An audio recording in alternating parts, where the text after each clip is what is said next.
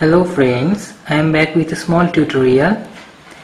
I just have installed the WhatsApp application on my iPod touch and I have noticed that there is no smiley button here uh, like Android devices. So I have found I have found a way through which uh, this problem can be fixed. So let's go to the settings and tap on general. Then go to keyboard.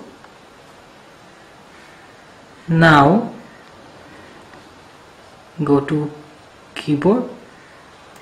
And here add new keyboard. Scroll down and search for emoji. Here now go back to whatsapp.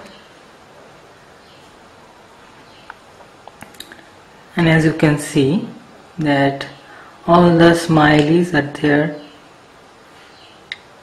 Switch you can switch the keyboard and smileys from here. So that's it guys. It's a small video. Hope you enjoyed this video. So thanks for watching